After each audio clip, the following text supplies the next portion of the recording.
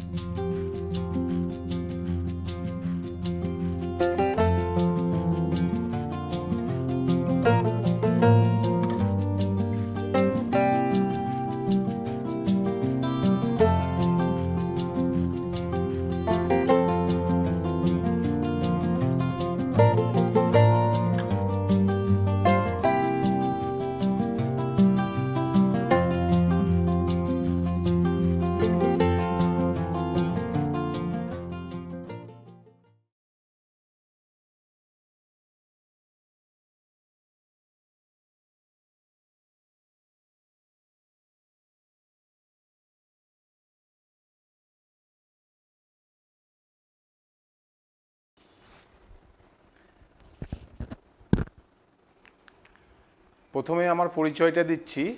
আমার নাম তন্ময় পাণ্ডে। আমি হবিপুর ব্লকের ডাল্লা চন্দ্রমোহন বিদ্যা মন্দিরের ইতিহাসের শিক্ষক। আমি আজকে আমাদের জেলা প্রশাসনের উদ্যোগে এই যে কোভিড পরিস্থিতি, এই কোভিড পরিস্থিতিতে আমার ক্লাস টেনের যে ছেলে মেয়েদের যে পরিস্থিতি চলছে, তাদের যাতে কিছুটা সুরাহা হয়, এই জন্যই অনলাইনে কিছু ক্লাসের ব্যবস্থা জেলা প্রশাসন করেছে। আমরা এসেছি, আমরা ছাত্রদের এটাই বলতে চাইছি যে তোমরা যতটুকু পারবে ক্লাসটা মন দিয়ে গ্রহণ করার চেষ্টা করবে। আশা করি এই কোভিড পরিস্থিতিতে তোমাদের কিছুটা হলেও সুরাহা হবে। আমি মাস্ক পরেছিলাম, মাস্কটা এখানে খুলে নিচ্ছি। তার কারণ তোমরা বুঝতে পারছ যে আমার এইখানে আশেপাশে কেউ নেই, আমি ডিস্টেন্সটা মেনটেন করছি। কিন্তু তোমরা বাড়ির বাইরে বেরোলে অবশ্যই কিন্তু মাস্ক পরিধান করবে। আজকে যেহেতু তোমাদের প্রথম ক্লাস, সেহেতু তোমরা ইতিমধ্যে অবগত হয়েছো যে ক্লাস টেনের ফার্স্ট চ্যাপ্টার হিস্ট্রির তোমাদের ইতিহাসের ধারণা কনসেপ্ট অফ হিস্ট্রি এই ইতিহাসের ধারণা তোমরা প্রথম চ্যাপ্টারে আমি আশা করব যে তোমাদের এই সিচুয়েশনে মোটামুটি অবগত হয়েছেও তা সত্ত্বেও আমি তোমাদের সামনে সেই অধ্যায়ের উপরে আজকে কিছু আলোচনা করব। তাহলে আমাদের প্রথম অধ্যায় আমরা শুরু করতে যাচ্ছি ইতিহাসের ধারণা কনসেপ্ট অফ হিস্ট্রি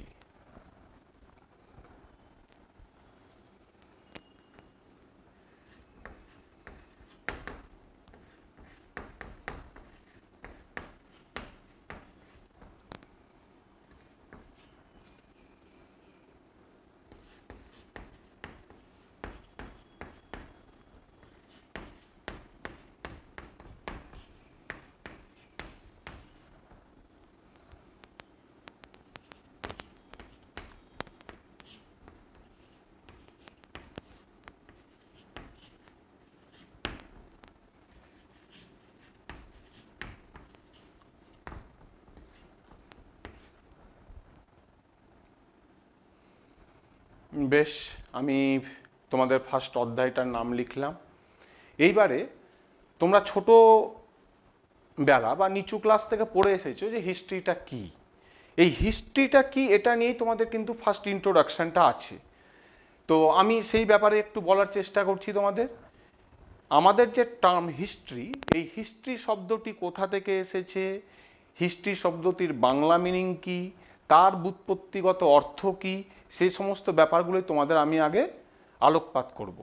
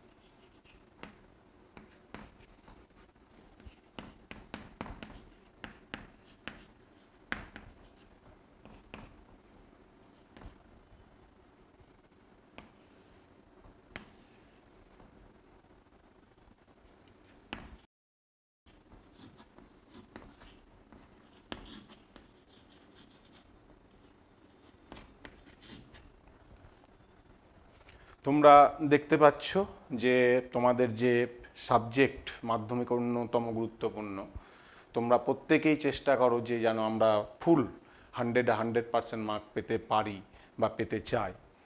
আমি জানি তোমরা অনেকেই আছো, তো এই হিস্ট্রি শব্দটি তোমরা নিচু ক্লাসে পড়ে এসেছ, সেটারই আবার একটা আলোকপাত। যদি তোমাদের সেই জায়গায় কিছু গ্যাপ থেকে থাকে, সেটা নিয়ে আমি তোমাদের এই হিস্ট্রি শব্দটির মিনিং তোমাদের আগে আমি বোঝাচ্ছি। হিস্ট্রি শব্দটি ল্যাটিন শব্দ হিস্টোর থেকে এসেছে। হিস্টোর শব্দের অর্থ হচ্ছে জ্ঞান। গ্রিক শব্দ হিস্টোরিয়া থেকে এসেছে, যার অর্থ হচ্ছে অনুসন্ধান করা।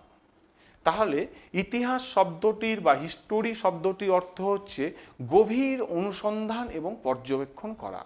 কেমন? এটা গেল ইংরেজি হিস্ট্রি এবার এই হিস্ট্রিটার বাংলা মিনিং তোমরা জানো, সেটা হচ্ছে ইতিহাস। আসো আমরা একবার দেখে নিই ইতিহাস শব্দের অর্থটা।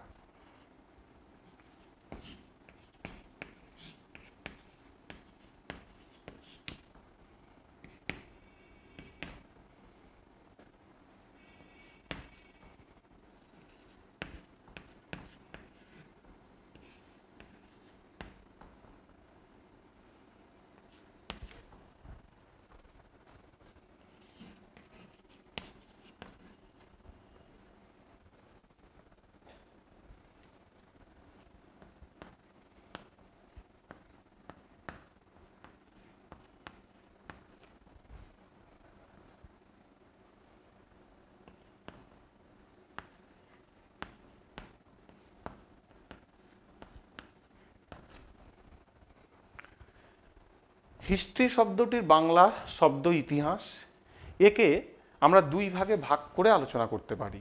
ইতিহ যোগ আস। ইতিহ শব্দের অর্থ হচ্ছে পরম্পরাগত ঐতিহ্য।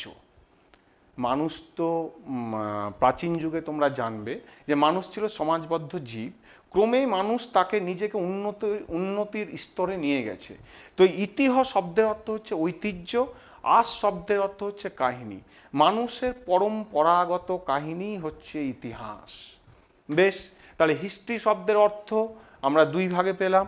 ল্যাটিন ভাষায় যাকে বলছে হিস্টোর এবং গ্রিক ভাষায় যাকে বলছে হিস্টোরিয়া। জ্ঞান, অনুসন্ধান, এইদিকে ইতিহাস, ইতিহ যোগ আস। তোমরা পেয়ে গেলে, যার অর্থ হচ্ছে ঐতিহ্য ও কাহিনী। আমরা এইবারে এই যে হিস্ট্রি এটাকে আমরা দুই ভাগে ভাগ করতে পারি। তোমরা দেখে নেবে সেটা।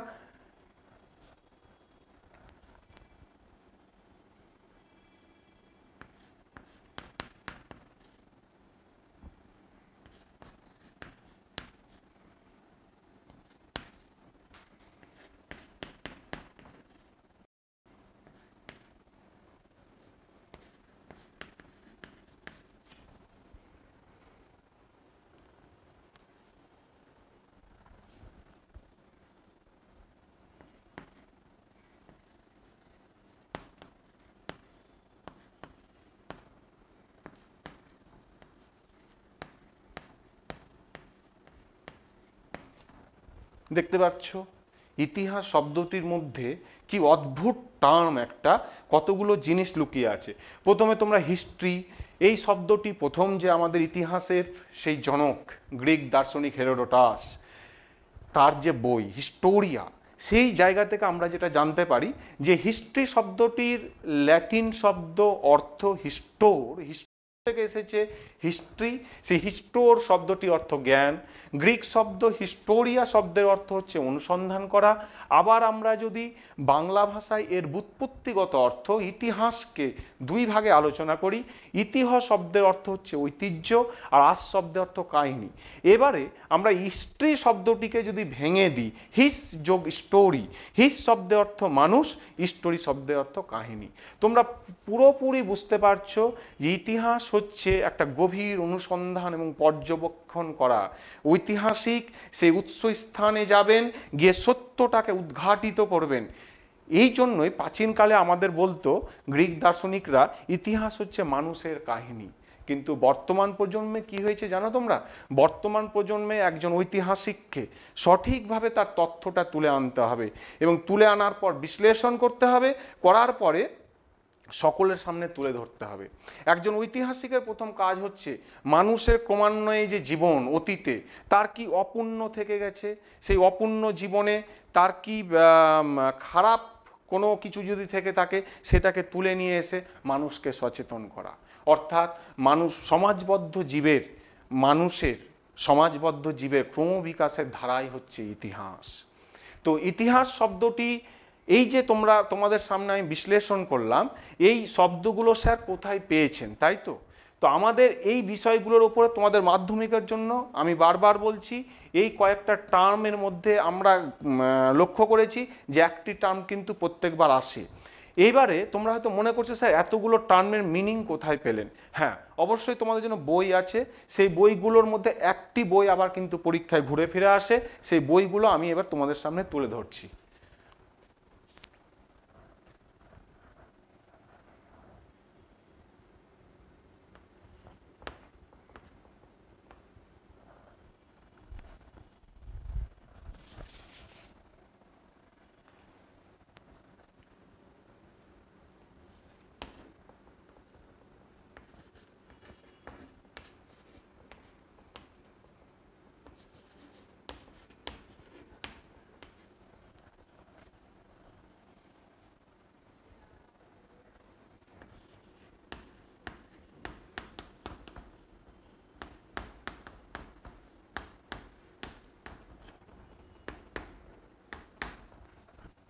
ইএইচ কার নাম করা ঐতিহাসিক, আমাদের ইতিহাসের এডওয়ার্ড হ্যামলেট কার তার লেখা বই হোয়াট ইজ হিস্ট্রি ভীষণ পরীক্ষার জন্য important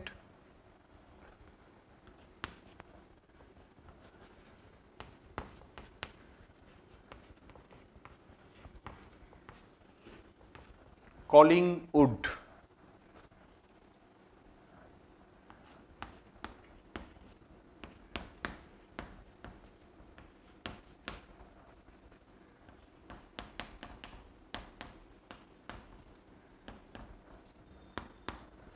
the idea of history ভীষণ ইম্পর্টেন্ট তোমাদের আমি বলছিলাম যে কিছু বই কিন্তু তোমাদের ফার্স্ট অধ্যায়ে ঘুরে ফিরে কিন্তু প্রত্যেকবার পরীক্ষাতে আসে, যেটা আমরা লক্ষ্য করেছি। এই বইয়ের নামগুলো মনে রাখবে। অথবা এইরকম কোশ্চিন হয়, বইয়ের নাম দেওয়া থাকে, দেওয়ার পরে অল্টারনেটিভ বিভিন্ন ঐতিহাসিকের নাম থাকে, সেখানে তোমাদের টিক মারতে হয়। তোমরা এটা জানো। ইএইচ কারের হোয়াট ইজ হিস্ট্রি কলিংউডের দ্য আইডিয়া অফ হিস্ট্রি আরও বই আছে। তোমরা বইয়ে লক্ষ্য করবে আমি এখানে লিখছি আর একটি বই।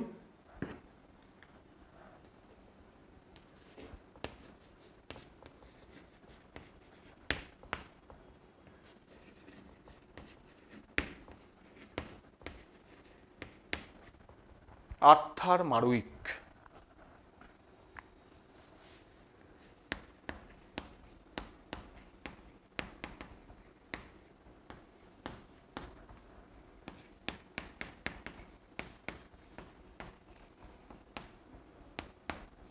দেখতে পাচ্ছ? দ্য নেচার অফ হিস্ট্রি আমাদের আরও অনেক বই আছে। আমি বলছিলাম র্যাঙ্কের বই আছে। তোমরা ক্রমানুযায়ী আমাদের যখন প্রথম অধ্যায়টা পড়বে, তোমাদের এক বইয়ে হয়তো এতগুলো থাকবে না। আমি বুঝতে পারছি। তোমরা ভাববে যে, স্যার, এতগুলো কোথা থেকে আসছে? তোমাদের জন্যই, তোমাদের সুবিধের জন্যই আমি যতটা পারছি এখন তুলে ধরছি। তো ইএইচ কারের what is history কলিংউডের the idea of history Arthur মারউইকের the nature of history, what history is, অনেকগুলো বই আছে। তোমাদের সব বইয়ে সবগুলো নেই, কিন্তু আমাদের জানানো কাজ অবশ্যই তোমরা জানো, সেটা ওয়াকিবহল হও। এই বইগুলোর নাম জানবে এবং হিস্ট্রি শব্দটি কোথা থেকে এসেছে। আমরা তোমাদের যেটা প্রথমেই বললাম যে ঘুরে ফিরে কিন্তু আমরা দেখি একটি দুটো কোশ্চিন এইখান থেকে আসে। এইবারে তোমাদের ইতিহাসের জনক, আমি হিস্ট্রি শব্দটি বলার সময় বলেছিলাম যে ইতিহাসের জনক কাকে বলা হয়? ভীষণ ইম্পর্টেন্ট হেরোদোটাস আধুনিক বা বিজ্ঞানসম্মত ইতিহাসের জনক কাকে বলা হয়? বিজ্ঞানসম্মত ইতিহাসের জনক বলা হয় থুসিডাইডিস আধুনিক বিজ্ঞানসম্মত ইতিহাসের জনক কাকে বলা হয়? আধুনিক বিজ্ঞানসম্মত ইতিহাসের জনক হচ্ছে ইবন খালদুন। আধুনিক ইতিহাস তত্ত্বের জনক র্যাঙ্কে। তোমরা বুঝতে পারছি আমি যে স্যার এতগুলো হ্যাঁ ওই চারটের মধ্যে আবার একটি আছে। ইতিহাসের জনক হেরোডোটাস মাথায় রাখবে। বিজ্ঞানসম্মত ইতিহাসের জনক, যখন ইতিহাস বিষয়টি হেরোডোটাস আমাদের সামনে তুলে ধরেছিলেন, রাজরাজাদের কাহিনী, পরবর্তীকালে যখন থুসিডাইডিস এসেছিলেন, আসার পর তিনি কি করেছিলেন যে তাকে বিজ্ঞানসম্মত উপায়ে ছাত্রছাত্রীদের সামনে তুলে ধরতে হবে। এই ধার- ধারণাটা আমাদের ইতিহাস শিক্ষক, ইতিহাস ছাত্রছাত্রীদের সামনে তুলে ধরেছিলেন থুসিডাইডিস আধুনিক বিজ্ঞানসম্মত ইতিহাসের জনক হচ্ছে ইবন খালদুন। ইতিহাস তত্ত্বের জনক। ইতিহাসের ইতিহাস যেটা হিস্ট্রিওগ্রাফি, তার হচ্ছে জনক হচ্ছে র্যাঙ্কে। তোমরা এই চারটে জিনিস মনে মনে রাখবে। তোমাদের প্রথম অধ্যায়ের যে ফার্স্ট ইন্ট্রোডাকশান সেই ইন্ট্রোডাকশানে এই বিষয়গুলো নিয়েই আমাদের রাইটাররা বইয়ে তুলে ধরেছে। আশা করি তোমাদের আমি বোঝাতে পারলাম। তোমাদের ফার্স্ট অধ্যায়ের যে সেকেন্ড প্যারা, সেইখানে দেখবে আছে নতুন সামাজিক ইতিহাস। নতুন সামাজিক ইতিহাস, সেই বিষয়ে আমি এবারে আলোচনা করব।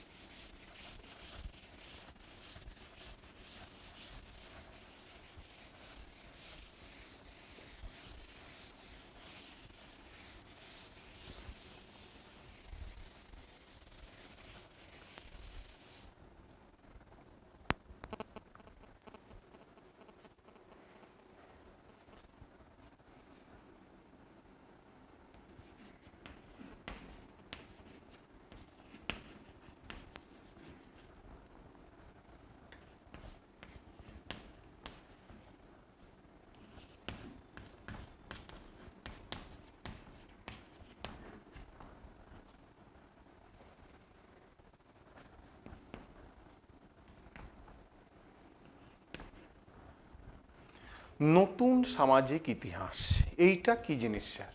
নতুন সামাজিক ইতিহাস, সুন্দর। আমি ইতিহাস আলোচনা করতে গিয়ে এই ইতিহাসের সংজ্ঞাটি কি?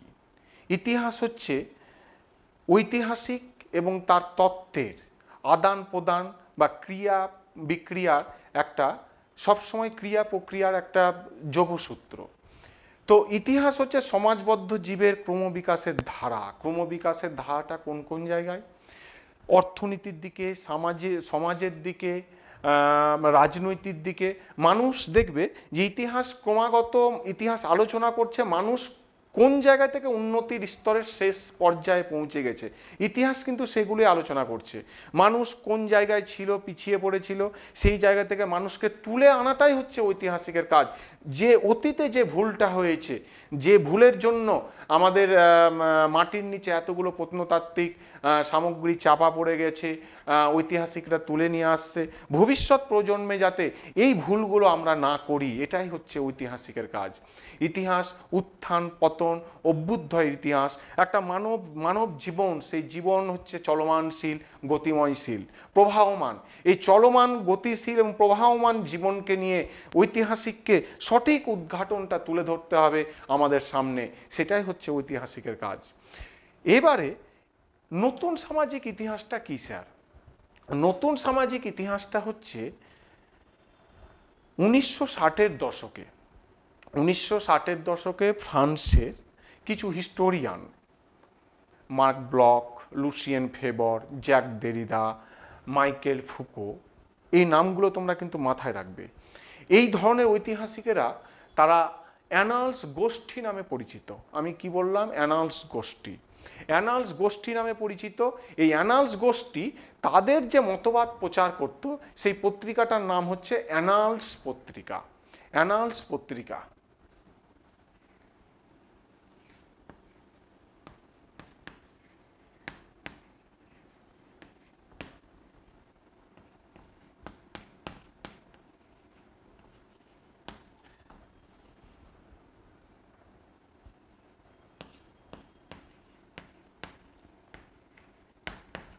এই অ্যানালস পত্রিকার দ্বারা উনিশশো উনত্রিশ খ্রিস্টাব্দে ফ্রান্সের, আমি যে ঐতিহাসিকগুলোর নাম বললাম, Lucien Febvre Michel Foucault, Jacques Derrida, Marc Bloch, এরা তাদের যে মতবাদটা তুলে ধরতো, যা, তাদের মতবাদ যে পত্রিকায় তুলে ধরতো, সেটা হচ্ছে অ্যানালস পত্রিকা ফ্রান্সের। অ্যানালস হিস্টোরিয়ানরা হচ্ছে ফ্রান্সের এবং তারা তাদের মতবাদগুলো তুলে ধরতো। তো স্যার, তাদের মতবাদগুলো কি? এটাই তোমাদের জানার বিষয়। তাদের মতবাদটাই কিন্তু নতুন সামাজিক ইতিহাস। কি জিনিস? সাধারণ মানুষের ইতিহাস তারা রুট লেভেল থেকে তুলে নিয়ে এসেছে। সাধারণ মানুষের জীবন কাহিনী, যে মানুষগুলোর জীবন দর্শন সংগ্রামশীলতা, এই জিনিসগুলো আধুনিক যুগে আধুনিক যুগে যখন তারা রুট লেভেল থেকে তুলে নিয়ে এসেছে, তুলে নিয়ে এসে ইতিহাসের আলোকে তারা সেটা পরিস্ফুট করছে, এটাই হচ্ছে নতুন সামাজিক ইতিহাস। এ ব্যাপারে সবথেকে অগ্রণী যিনি ভূমিকা পালন করেছেন, তিনি হচ্ছেন মাইকেল ফুকো। সেই মাইকেল ফুকো তোমাদের মার্ক ব্লক, লুসিয়ান ফেবর, এরা যা ঐতিহাসিকরা যারা আছে, তারা কিন্তু ক্রমাগতভাবে আমাদের সামনে তুলে ধরেছে। সেই জায়গায় আমরা যেটা আলোচনা করতে পারি এখন যে এই নতুন সামাজিক ইতিহাসের মেন ভিত্তিটি হচ্ছে total history total history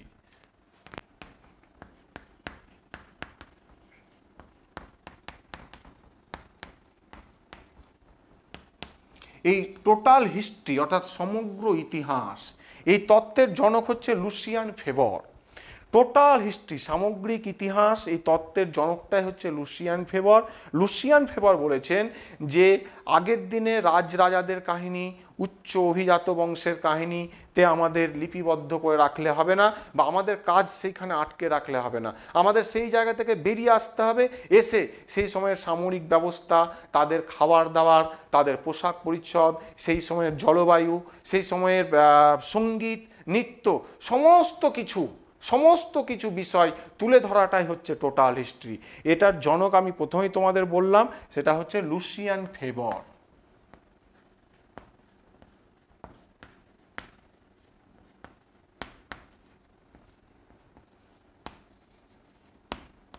Lucien Febvre. এই টোটাল হিস্ট্রি বা সামগ্রিক ইতিহাস এটা টোটাল জনকটা হচ্ছে লুসিয়ান ফেবর তারা, তাদের যে মতবাদগুলো, আমি তোমাদের আবার বারবার বলছি, আমাদের আদিম যুগে মানুষের, রাজরাজাদের কাহিনী, অভিজাত পরিবারের কাহিনী নিয়ে ইতিহাস তৈরি হতো। কিন্তু এই অ্যানালস গোষ্ঠীর মতানুযায়ী তারা বলতে চাইছে যে এই অ্যানালস গোষ্ঠী তারা যেটা বলতে চাইছে যে মানুষের আর ওই রাজরাজাদের কাহিনীর মধ্যে ইতিহাসকে লিপিবদ্ধ করে রাখলে হবে না। ইতিহাসটা আমাদের নিচুতলার সমাজের যে নিচু অংশের যে যোগদান, সেই যোগদানকে তুলে নিয়ে আসতে হবে এবং সেখানে তাদের খাবার পোশাক পরিচ্ছদ, জলবায়ু সমস্ত কিছু টোটালটা নিয়ে আলোচনা করতে হবে। এটাই হচ্ছে টোটাল হিস্ট্রি। এই যে আমি আলোচনা করতে তোমাদের একটি শব্দ বললাম যে সমাজের নিচু তালা থেকে তুলে নিয়ে আসতে হবে। হিস্ট্রি ফ্রম বিলো, নতুন সামাজিক ইতিহাসের অন্যতম গুরুত্বপূর্ণ বৈশিষ্ট্য হচ্ছে কিন্তু হিস্ট্রি ফ্রম বিলো। এই বিষয়টি তোমাদের আমি একটু আলোকপাত করি।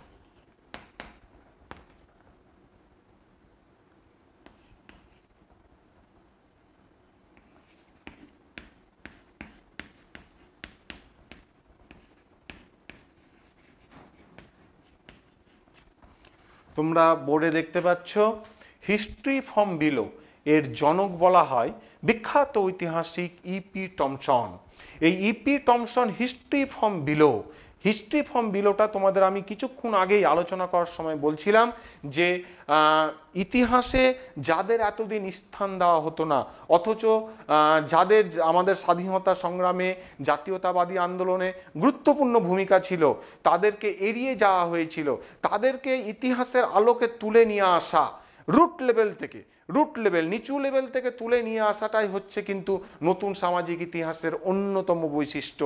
আর এই নতুন সামাজিক ইতিহাসের অন্যতম বৈশিষ্ট্য দেখতে গিয়ে আমরা দেখছি সেই মাইকেল ফুকোর।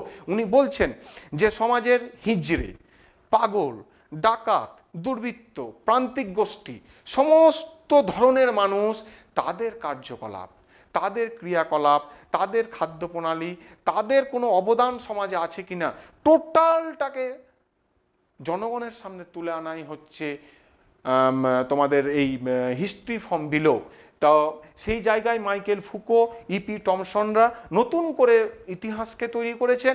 এটাই কিন্তু তোমাদের নতুন সামাজিক ইতিহাসের অন্যতম বৈশিষ্ট্য। এবং এবারের মাধ্যমিক পরীক্ষাতে আজকে তোমাদের আমি এই অধ্যায় থেকে চারখানা কোশ্চিন বলব, আমরা আশা করব যে তোমাদের যেহেতু হাতে সময়টা কম, এই সময় কমের মধ্যে কিন্তু আমি আজকে যেটা বেশি করে আলোচনা করছি, এটা কিন্তু তোমাদের চার মার্কে এবারে ভীষণ ইম্পর্টেন্ট নতুন সামাজিক ইতিহাস, চর্চা ইতিহাসে কেন গুরুত্বপূর্ণ? এই জন্যই আমি আলোচনা করছি। তোমরা বুঝতে পারছ? এবার এই যে নতুন সামাজিক ইতিহাস, আমি যে ঐতিহাসিকগুলোর নাম নিলাম Michael Foucault, Jacques Derrida, Marc Bloch, এই সমস্ত হিস্টোরিয়ানদের অবদান। এদের আদর্শে অনুপ্রাণিত ভারতবর্ষে কি হয়েছিল স্যার? ভারতবর্ষে উনিশশো আশির দশকে রণজিৎ গুহ, জ্ঞানেন্দ্র পাণ্ডে, সৈয়দ আমিন, দীপেশ চক্রবর্তী, এই সমস্ত ঐতিহাসিকেরা আমাদের নিম্নবর্গীয় ইতিহাস চর্চা শুরু করে। ইংরেজিতে একে বলা হয় সাবোটান হিস্টোগ্রাফি। সাবোটান হিস্টোগ্রাফি, এই টার্মটা তোমরা মনে রাখবে, এটা হচ্ছে নিম্নবর্গীয় ইতিহাস চর্চা। এই নিম্নবর্গীয় ইতিহাস চর্চার মেন জনক কিন্তু হচ্ছে রণজিৎ গুহ, ভিবিআই মাধ্যমিকের জন্য। আমি তোমাদের বোর্ডে আলোকপাত করছি। তোমরা দেখতে পাচ্ছ, আমি যেটা আলোচনা করছিলাম, নতুন সামাজিক ইতিহাস, এই যে ফ্রান্সের হিস্টোরিয়ানরা তাদের মতাদর্শে অনুপ্রাণিত হয়ে ভারতীয় ঐতিহাসিক একদল উনিশশো আশির দশকে। তারা ভারতবর্ষের যে প্রান্তিক গোষ্ঠী, ভারতবর্ষের যে খেটে খাওয়া গোষ্ঠী, ভারতবর্ষের যে শ্রমিক শ্রেণি, তাদেরকে ইতিহাসের আলোকে তুলে নিয়ে আসার চেষ্টা করেছেন এবং তাদের এই মতাদর্শ ইতিহাসে সাবোটান হিস্টোগ্রাফি বা নিম্নবর্গীয় ইতিহাস চর্চা নামে উল্লেখিত। তো এই নিম্নবর্গীয় ইতিহাস চর্চার জনক বলা হয়। নিম্নবর্গীয় ইতিহাস চর্চার জনক বলা হয় তোমাদের এবারে মাধ্যমিকে ভীষণ important doctor Ranajit Guha sir. Ranajit Guha, ইনি হচ্ছে নিম্নবর্গীয় ইতিহাস চর্চার জনক ভারতবর্ষে। ইনার উক্তিগুলো আমরা তোমাদের সামনে কীভাবে তুলে ধরছি? অবশ্যই তার যে মেন বই সাবোটান স্টাডিজ এই বই তোমরা হয় man made civilization Michael Foucault বা history from below EP Thompson বা রণজিৎ গুহর সাবোটান স্টাডিজ তিনটে চারটে বইয়ের মধ্যে কিন্তু তোমাদের এই অধ্যায় থেকে একটি কোশ্চিন তোমরা আশা করতেই পারো। তো রণজিৎ গুহর এই বইটি তোমাদের সারা জীবন মনে রাখতে হবে সাবোটান স্টাডিজ সেই বই থেকে আমরা নিম্নবর্গীয় ইতিহাস চর্চার বিষয়গুলো তুলে ধরতে পারি। ইনার সহযোগী যারা ছিলেন ভারতবর্ষে, আমাদের কলকাতায় নাম করা হচ্ছে পার্থ চ্যাটার্জি স্যার এখন ক্যালিফোর্নিয়া ইউনিভার্সিটি সৈয়দ আমিন, দীপেশ চক্রবর্তী, এই সমস্ত জ্ঞানেন্দ্র পাণ্ডে, এই সমস্ত ঐতিহাসিকরা হচ্ছে এই স্যারের আদর্শে অনুপ্রাণিত বা একই মতাদর্শে বিশ্বাসী। তো তোমাদের এই নিম্নবর্গীয় ইতিহাস চর্চা অ্যানালস গোষ্ঠী, হিস্ট্রি ফর্ম বিলো, এতগুলো নিয়ে কিন্তু চার মার্কের একটা কোশ্চিন কভার করবে নতুন সামাজিক ইতিহাস। আশা করি তোমাদের আমি এই ইউনিটটা বোঝাতে পেরেছি। তোমরা মন দিয়ে বাড়িতে একটু পড়বে।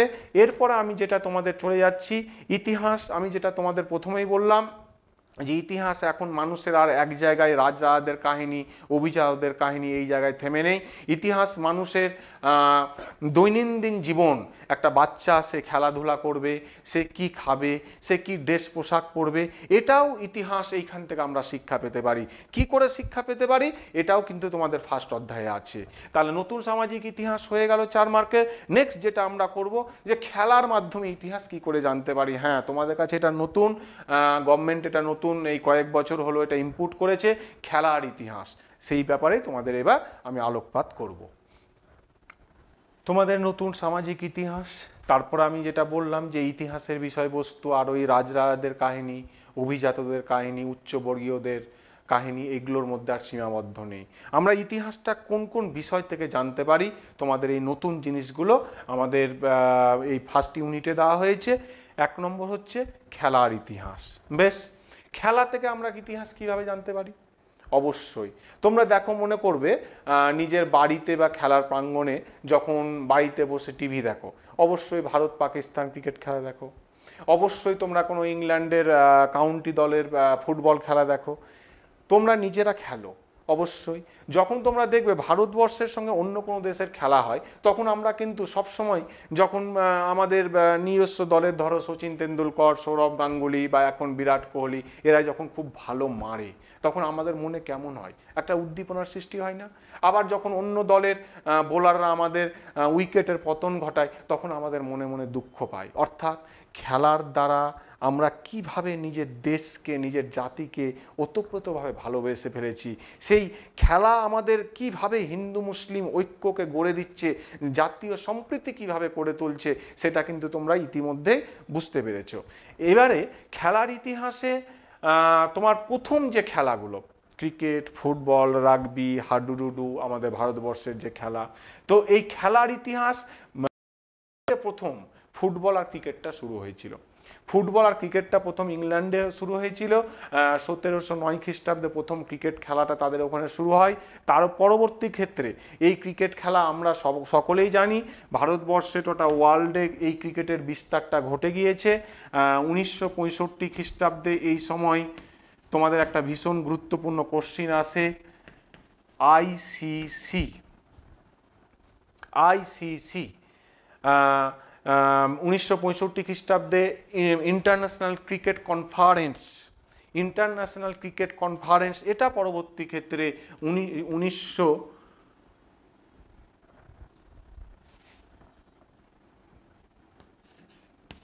উনিশশো উননব্বই খ্রিস্টাব্দে এসে দাঁড়িয়েছে আবার একই নামে আইসিসি ইন্টারন্যাশনাল ক্রিকেট কাউন্সিল এখন তোমরা যে আইসিসিটা দেখছ, সেটা হচ্ছে ইন্টারন্যাশনাল ক্রিকেট কাউন্সিল এটা আগে ছিল ইন্টারন্যাশনাল ক্রিকেট কনফারেন্স এই জিনিসটাই পরবর্তী ক্ষেত্রে এই নামটি ধারণ করেছে। এবং এই যে খেলার ইতিহাস, মেয়েদের বিশ্বকাপ ক্রিকেট শুরু হয়ে গেছে উনিশশো সত্তরের দশকে। তোমরা সেই খেলাগুলো বিশ্বকাপ ক্রিকেট তোমরা দেখো। সেই খেলা থেকে তোমরা কি কি শিখ- শিখতে পারো? দেখো যে দুই দিকে দুইজন ব্যাটসম্যান ব্যাট নিয়ে দাঁড়িয়ে আছে, সেটাকে বলা হয় বাইশ গজের খেলা। মানে সেই পিচটার দূরত্ব বাইশ গজ তো ক্রিকেট ক্রিকেট খেলার পাশাপাশি আর কি তোমরা শেখো? ফুটবল। ফুটবল খেলাটাও কিন্তু প্রথম ইংল্যান্ডে শুরু হয়েছিল। এই ব্যাপারে একটা তোমাদের আকর্ষণীয় জিনিস বলি, এই ফুটবল খেলাকে কেন্দ্র করে ব্রিটিশদের কীরকম রাগ উঠেছিল তোমরা দেখবে। আমরা নিজেদের দেশকে কতখানি খেলার দ্বারা ভালোবাসি। আমাদের বাংলায় প্রিয়তম দল আছে দুটো, ইস্টবেঙ্গল মোহনবাগান। এই মোহনবাগান দল আঠারোশো আশির দশক আঠারোশো আশির দশক। তোমাদের আমি একটা জিনিস বলে রাখব ছাত্রছাত্রী, তোমরা এই জিনিসটা ভালোভাবে নেবে।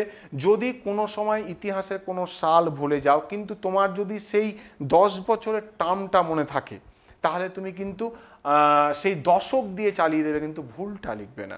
তোমার যদি মনে হয় আমার যেমন এখন আমার কনফিউশন হচ্ছে যত সম্ভব মোহনবাগান দল আঠারোশো সাতাশি বা উননব্বইয়ে গড়ে উঠেছিল, আমি যেহেতু ভুলে গেছি, এই জন্য আমি কিন্তু করে দিলাম আঠারোশো আশির দশক। তাহলে কি হবে জানো? তোমাদের খাতা স্যারেরা যখন মাধ্যমিকে দেখবে, কাটবে না। কারণ উনি ওই ছাত্র বলে দিয়েছে, আঠারোশো আশির দশক মানে এই দশ বছর কন্টিনিউ করলে এটা আঠারোশো নব্বই গিয়ে শেষ হবে। অর্থাৎ ছাত্রটি জানে, কিন্তু সে পার্টিকুলার সালটা ভুলে গেছে, ওই জন্য ও কিন্তু দশকটা মেনশন করে দিয়েছে। তোমরা যদি এটাও ভুলে যাও, তোমার যদি মনে হয় যে আঠারোশো আশি সত্তর হবে, তখন তোমরা কি করবে জানো? তখন তোমরা বলে দেবে, ঊনবিংশ শতাব্দীর দ্বিতীয়ার্ধে ঊনবিংশ শতাব্দীর দ্বিতীয়ার্ধে, আঠারোশো এক থেকে উনিশশো, দ্বিতীয়ার্ধ মানে হচ্ছে আঠারোশো একান্ন থেকে উনিশশো। এইগুলো তোমাদের আমরা স্কুলে স্যার ম্যাডামেরা শিখিয়ে রাখে, আমরাও ছাত্রছাত্রীদের শিখিয়ে রাখি। কিন্তু এই বয়সে পার্টিকুলার সালটা মনে রাখার চেষ্টা করবে, না পারলে তখন তোমরা এই অপশানগুলো বেছে নেবে। ঠিক আছে? তো আমি, আমরা এবার চলে আসি খেলার ইতিহাস। তো খেলা কীভাবে আমাদের জাতীয়তা বোধকে ত্বরান্বিত করে, তোমরা এবার দেখো। আঠারোশো আশির দশকে মোহনবাগান দলটি গড়ে উঠেছিল। বেশ এই মোহনবাগান দলের সঙ্গে উনিশশো এগারো খ্রিস্টাব্দে, উনিশশো এগারো খ্রিস্টাব্দে ইস্ট ইয়র্ক, সেই বিদেশি ইংরেজদের বিদেশি ক্লাব, সেই ক্লাবে ফুটবল খেলা হচ্ছিল আমাদের কলকাতায়। সেই খেলায় সেই খেলায় আমাদের বাঙালির ছেলেদের তখন বুট, শু, জুতো কি জিনিস জানতো না। সেই বিনা জুতোই সেই তাদের তোমার বুটের দ্বারা তারা মানে ইস্ট ইয়র্কের যে তাদের যে খেলোয়াড়, তাদের সঙ্গে খালি পায়ে লড়াই করে উনিশশো এগারো খ্রিস্টাব্দে মোহনবাগান দল ব্রিটিশ ক্লাবকে হারিয়ে দেয়। তোমরা মাথায় রাখবে, তার পরিণতি কি হয়েছিল? তার পরিণতি গোটা পশ্চিম বাংলা সহ ভারতবর্ষে একটা উদ্দীপনার সৃষ্টি হয়েছিল এবং ইংরেজরা ভালো করে জানতো যে বাংলা যেটা বলে, তার পরের দিন গোটা ইন্ডিয়া সেটা শোনে। বাঙালি যত বিপ্লবী ভারতবর্ষে জন্ম নিয়েছে, সবই হচ্ছে বাঙালির ছেলে মেয়ে। যখন এই খেলায় মোহনবাগান দল জিতে গেল, মোহনবাগান দলের আনন্দে অনুপ্রাণিত হয়ে বাঙালি বিপ্লবীদের উৎসাহ, অনুপ্রেরণা, বাঙালি ছেলেদের, তাদের আনন্দে উদ্বেলিত হয়ে সমস্ত বিপ্লবী দল আনন্দে আরও আগ্রাসী ভূমিকা পালন করতে শুরু করল। বাধ্য হয়ে ব্রিটিশরা উনিশশো এগারো সালে গোটা ভারতবর্ষের রাজধানী ছিল কলকাতা। তোমরা জানো, এটা জানতে হবে কিন্তু এক মার্কের কোশ্চিনে ভারতবর্ষের রাজধানী ছিল কলকাতা। সেই রাজধানী উনিশশো এগারো সালের ডিসেম্বর মাসে পঞ্চম জর্জের এক হুইপ জারির দ্বারা সেই কলকাতা থেকে রাজধানী নিয়ে চলে গেছে ভারতবর্ষের রাজধানী দিল্লি। ব্রিটিশরা সেই ভয়ে, অর্থাৎ তোমাদের আমি আলোচনা করতে চাইছি, খেলার দ্বারা কতটা ইতিহাস ত্বরান্বিত হয় এবং জাতীয়তাবোধ এগিয়ে যায় তো স্যার, এতগুলো জিনিস যে আলোচনা করলেন, কি আমরা কি কি বই ফলো করব। তোমরা এখানে অবশ্যই কৌশিক ভট্টাচার্যের বাপি বাড়ি যা। এখন তোমরা বইয়ের দোকানে গেলে পাবে। গৌতম ভট্টাচার্যের সরি যেটা বলছিলাম, গৌতম ভট্টাচার্যের বাপি বাড়ি যা। কৌশিক ভট্টাচার্যের খেলা যখন ইতিহাস তারপরে তোমরা দেখতে পাবে খুব ভালো সচিন তেন্ডুলকরের আত্মজীবনী প্লেয়িং ইট মাই ওয়ে খুব ভালো বই। তো এই বইগুলো তোমরা ফলো করবে। এই বইগুলো ফলো করলে কিন্তু তোমরা খেলার ইতিহাস সম্পর্কে একটা গুরুত্বপূর্ণ ধারণা তোমাদের মধ্যে জন্মাবে। এবং তোমাদের আমি বলেছি, নতুন সামাজিক ইতিহাস যেমন চার মার্কের ইম্পর্টেন্ট খেলার ইতিহাসও কিন্তু এবার চার মার্কের জন্য ভীষণ ইম্পর্টেন্ট এই অধ্যায়ে। খেলার ইতিহাস জাতীয়তাবোধকে কীভাবে ত্বরান্বিত করে? বেশ খেলার ইতিহাসের পর তোমাদের ইউনিট ধরে আমি এবার নিচের দিকে নামতে থাকি তারপরে তোমরা দেখবে তোমাদের হয়তো বইয়ে আছে খাদ্যের ইতিহাস। খুব সুন্দর জিনিস।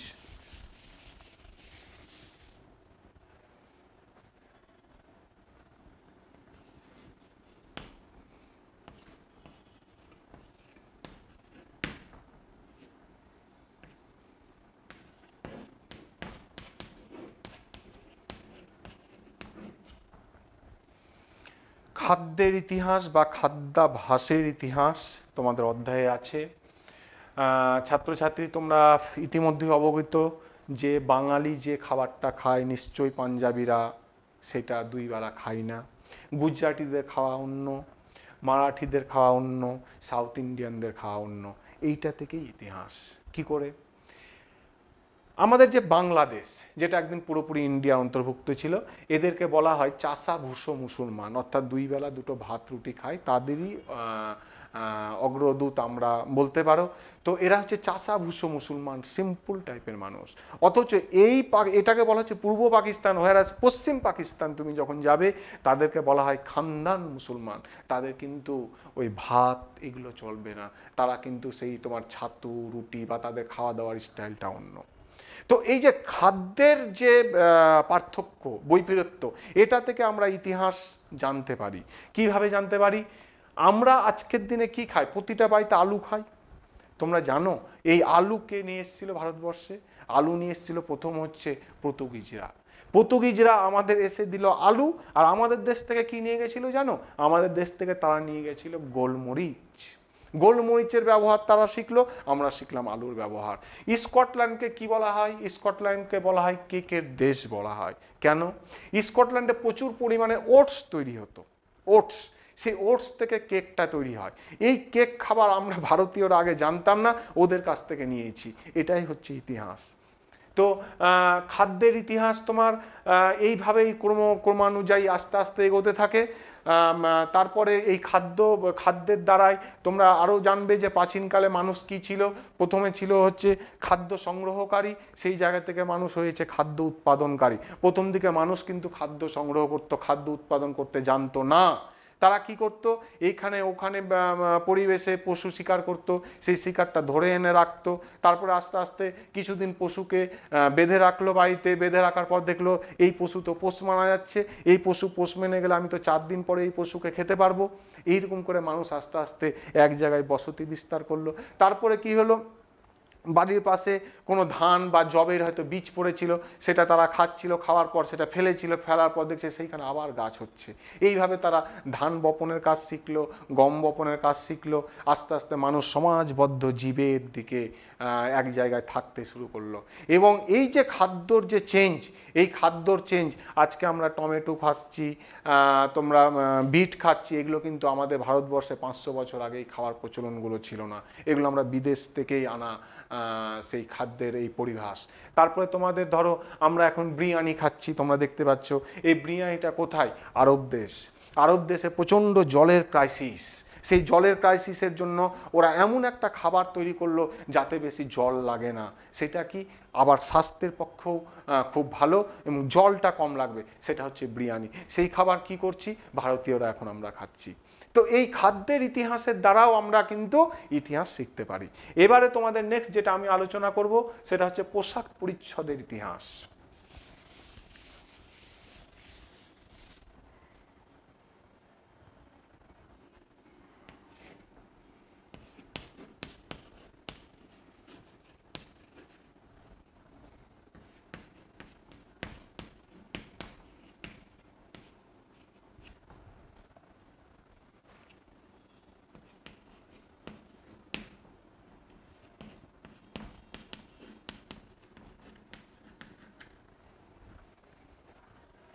প্রিয় ছাত্র, তোমরা এটা জানবে, পোশাক পরিচ্ছয় তোমার ব্যক্তিগত পোশাক, জীবনে তুমি কতটা ডিসিপ্লিন তুমি জীবনে কতটা এগোতে পারো? আমাদের গুরুজন ব্যক্তিরা কিন্তু আমাদের শিখিয়েছে, আমরাও তোমাদের শেখাই স্কুলে যে চুল ছোট করে কেটে আসবে, ভালো জামা কাপড় পরিষ্কার। পরিষ্কার জামা কাপড় পরে আসবে ডিসিপ্লিন ওয়েতে আসবে। তো এই পোশাক পরিচ্ছদটা ডিপেন্ড করে প্রতিটা মানুষের ব্যক্তিগত নিজের নিজের জীবনে তার কতটা চাহিদা। এই পোশাক পরিচ্ছদ বিভিন্ন জলবায়ু অঞ্চলের তারতম্য ভেদে পোশাক পরিচ্ছদ বিভিন্ন হয়ে থাকে। কীরকম তোমরা দেখে নাও? পাঞ্জাব। পাঞ্জাবে যারা পোশাক পরে, তারা পরে কুর্তা পাঞ্জাবি ছেলেরা। মেয়েরা পরে সালোয়ার কামিজ। দেখো এটা হচ্ছে নর্থ ওয়েস্ট আমি করে দিচ্ছি। নর্থ ওয়েস্ট উত্তর পশ্চিম তারপরে তোমরা যদি শুধুমাত্র পশ্চিম দিকটা যা ভারতবর্ষের, সেই গুজরাট, মহারাষ্ট্র, সেইখানে দেখবে মেয়েরা শুধু ঘাংরা। নর্থ ওয়েস্টের সালোয়ার কামিজ আমাদের, এই যে উত্তর পূর্ব ভারত, এই উত্তর পূর্ব ভারতে দেখবে আমাদের লুঙ্গি, ধুতি, পাঞ্জাবি। মেয়েরা যে শাড়ি পরে তাকে বলা হচ্ছে ব্রাহ্মী স্টাইল। ব্রাহ্মী স্টাইলটা কি শোনো? এই ব্রাহ্মী স্টাইলটা ঊনবিংশ শতাব্দীতে আমাদের ঠাকুর পরিবার মানে কবিগুরুর জোড়াসাঁকর যে ঠাকুর বাড়ি, সেই ঠাকুর পরিবারের মহিলারা যেভাবে শাড়ি পরতো, সেই শাড়িটা আমাদের বাঙালি মেয়েরা কিন্তু পরিধান করে। তাহলে আমাদের ভারতবর্ষের রিজিয়ন বেসিসে এলাকায় বেসিসে বিভিন্ন টাইপের ড্রেস পোশাক আমরা কিন্তু পরিধান করে থাকি। তোমরা দক্ষিণ ভারতে যাবে, দক্ষিণ ভারতের ড্রেস পোশাক অন্যরকম। গোটা বিশ্বে তুমি যদি দেখো, আমাদের ভারতবর্ষে এখন যে মডার্ন যে এই পোশাকগুলো এসেছে, অবশ্যই এদের, এতে কিন্তু উত্তরাধিকার কিন্তু এই ব্রিটিশরা। ফরাসি বিপ্লব তোমরা জানো, ফরাসি বিপ্লব ঘটে গেছিল সতেরোশো উননব্বই খ্রিস্টাব্দে। এই সময় মেয়েরা নারী বাহিনী যখন রাস্তায় নেমে পড়েছিল, তাদের ড্রেস পোশাক কী ছিল? লাল একটা টুপির মতো জাতীয় জিনিস আর নিচে খাগড়া। সেই জাতীয় জিনিস পরে মেয়েরা কিন্তু সেইখানে নেমে পড়েছিল। অথচ আমেরিকার স্বাধীনতা যুদ্ধ, ইংল্যান্ডের গৌরবময় বিপ্লবে আমরা কিন্তু দেখি অন্য ধরনের ড্রেস তো এই যে ড্রেস পোশাক এই যে পোশাক পরিচ্ছদ পোশাক পরিচ্ছদ এক একটা এলাকায় এক এক রকম। কেন? ভৌগোলিক পরিবেশ তাদের এক এক রকম। সেই ভৌগোলিক পরিবেশকে নিজেকে বাঁচানোর জন্য, নিজেকে সুরক্ষিত রাখার জন্য কিন্তু পোশাক পরিচ্ছদ বিভিন্ন জায়গায় বিভিন্ন রকম হয়ে থাকে। এই পোশাক পরিচ্ছদ এই যে পোশাক পরিচ্ছদটা তোমরা দেখছ, এটার দ্বারাও কিন্তু এইভাবে আমাদের ইতিহাস এগিয়ে যাচ্ছে। কেমন? তাহলে আজকে যেটা আলোচনা করলাম, নতুন সামাজিক ইতিহাসের ধারণা খাদ্যাভাসের ইতিহাসের ধারণা, পোশাক পরিচ্ছদের ইতিহাসের ধারণা। এরপরে তোমাদের এবারে মাধ্যমিকের জন্য চার মার্কের যে ভীষণ চারটে কোশ্চিন ইম্পর্টেন্ট আমি বলছিলাম সেই চারটে কোশ্চিন তোমাদের আমি লিখে দেবো।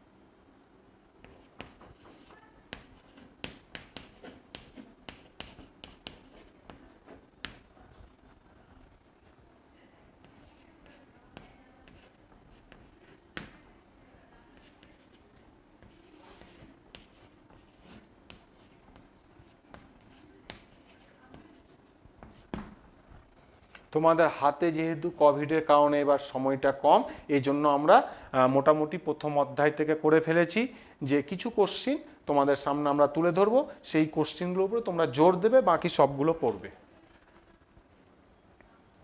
তোমাদের প্রথমেই বলছিলাম যে এই কোভিড পরিস্থিতিতে আমাদের মালদা জেলা প্রশাসন তোমাদের কিছু ক্লাস যেহেতু করার সিদ্ধান্ত নিয়েছে, ওই জন্য তোমাদের হাতে যেহেতু সময়টা কম সেই জন্য আমরাও করেছি কি যে প্রতিটা অধ্যায়ে কিছু কিছু কোশ্চিন বেছে নিয়েছি যাতে তোমাদের ভবিষ্যতে পরবর্তী ইয়ারে তোমাদের পরীক্ষার সময় সুবিধে হয়।